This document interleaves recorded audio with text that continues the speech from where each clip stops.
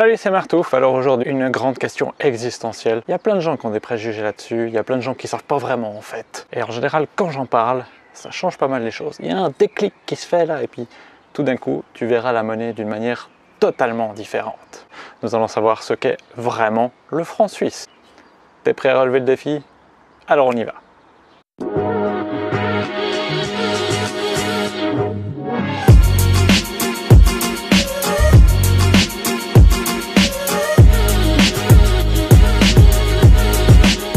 Question toute simple, quelle est la définition du franc suisse Et oui, il y en a une. Il suffit en fait d'aller euh, dans la loi sur l'unité monétaire et les moyens de paiement. Et oui, ça existe, nul n'est censé ignorer la loi, donc tu devrais le savoir. Qu'est-ce qu'elle dit la loi sur l'unité monétaire et les moyens de paiement? Ben, Elle dit des trucs euh, super cool, euh, comme par exemple, si tu veux payer avec plein de monnaie, ben tu peux pas payer avec plus que 100 pièces de monnaie. Quand tu vas au bistrot, ben, tu peux sortir toute ta bourse. Voilà ma bourse. J'adore, il y a plein de pièces de monnaie. Et ben voilà, ça donne ça, 100 pièces de monnaie. Cette loi, elle dit euh, ce genre de truc. Elle parle aussi des billets de banque. Si par exemple, euh, tu as le malheur de brûler un billet de banque, et ben la BNS, elle peut te récupérer ton billet seulement et seulement si tu as au moins la moitié de ton billet et le bon côté en plus, celui qui a le numéro de série. Mais cette loi, elle dit un truc vachement plus important que là, il faut vraiment qu'on sache, c'est là-dessus qu'on va se concentrer. Elle dit dans son article 1 que l'unité monétaire, c'est le franc suisse. L'unité, comme euh, le, kilo ou euh, le mètre, c'est une unité de mesure, le franc suisse. Elle mesure quoi? Elle mesure des moyens de paiement. Et il y a des moyens de paiement qui sont légaux. Ça veut dire qu'il y en a qui ne sont pas légaux. Et les moyens de paiement légaux, qu'est-ce que c'est?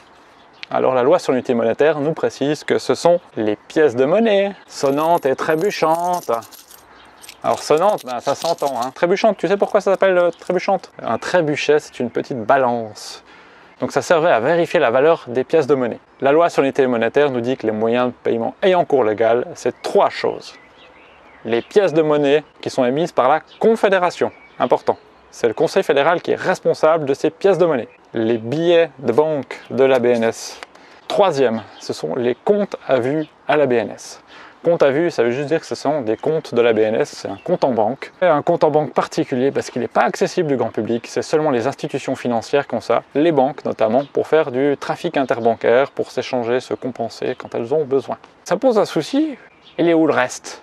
Mon compte à l'UBS, à la Crédit Suisse, Post Finance, là. Et eh bien tout ça, c'est pas du franc suisse. C'est là en général que les gens ils font oh, qu'est-ce que c'est et oui, les comptes en banque que tout le monde a, qu'on utilise couramment pour payer plein de trucs, c'est pas du franc suisse. Enfin, on a dit que c'était une unité de mesure, le franc. Donc, ça peut être mesuré en franc suisse. C'est quoi exactement alors ce qu'on a là-dessus? C'est une monnaie, mais dont on ne sait pas vraiment la nature. Le Conseil fédéral nous a dit en 2012, suite à une interpellation de Gary Muller, la 123305, si tu veux vérifier, hein, je mettrai les références ici en dessous. Donc le Conseil fédéral nous a dit que ce sont des substituts monétaires et que en fait c'est un droit garanti euh, dans le droit à la libre entreprise de faire des monnaies comme on a envie.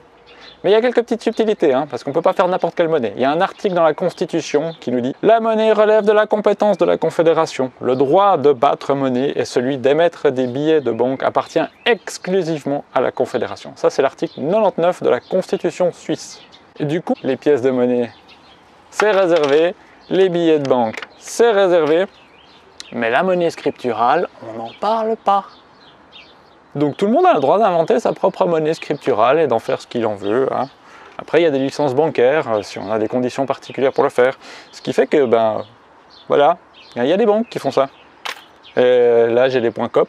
Hein. Mais finalement, les points COP, euh, les, points Cumulus, on compte Post-Finance euh, ou d'une autre banque, Crédit Suisse, UBS, ça ne vaut pas plus que les points Cumulus. Légalement, c'est pas un moyen de paiement ayant cours légal. Et pourtant, on paye nos impôts avec ça l'État a accepté ça. C'est quand même euh, assez particulier. Et ça représente 90% de la masse monétaire, ces substituts monétaires. Donc finalement, l'essentiel de la monnaie, c'est des moyens de paiement privés. C'est des moyens de paiement que des gens ont fait. Et avec ça, ben, ils ont tous les avantages, dont notamment les intérêts sur les crédits bancaires, parce que ça se crée avec les crédits, en bonne partie.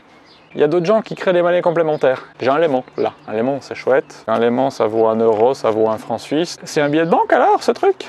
Ah ah, attention, attention, c'est pas considéré comme un billet de banque. Sinon, ce serait contraire à l'article 99 de la Constitution qui dit que le droit d'émettre des billets de banque appartient exclusivement à la Confédération.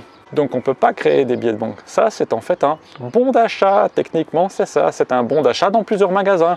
Au lieu d'avoir un bon d'achat dans un seul magasin, comme un bon d'achat à la COP ou à la Mingro, ben, j'ai un bon d'achat dans plein de commerces.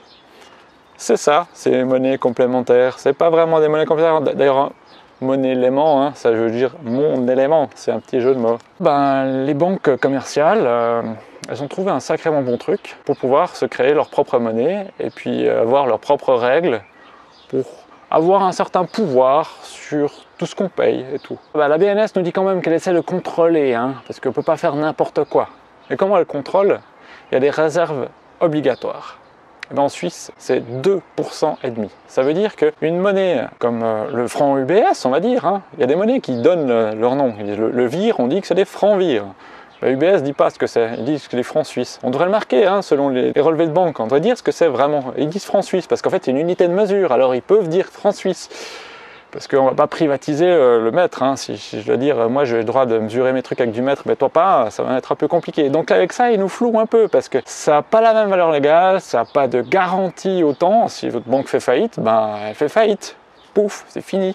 Donc ces monnaies privées sont garanties à 2% et demi en Suisse. Pour tout ce qui existe de monnaie UBS, il n'y a que 2% et demi de monnaie banque centrale, de monnaie ayant cours légal, moyen de paiement des comptes à vue à la BNS sur le trafic interbancaire.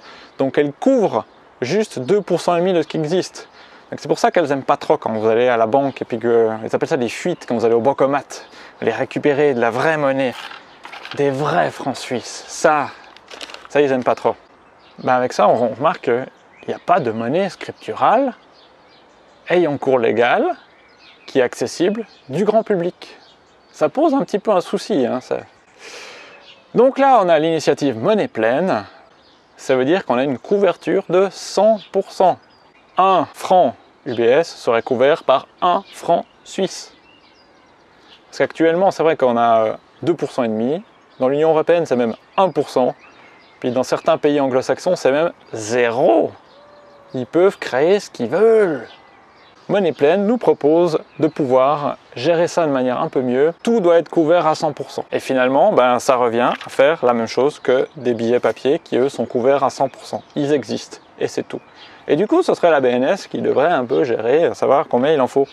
Voilà, ben, je te laisse cogiter à tout ça, hein, parce qu'il faut assimiler en général. Hein. Et oui, la monnaie des banques, c'est des dettes que les banques ont envers leurs clients la banque est endettée face à toi.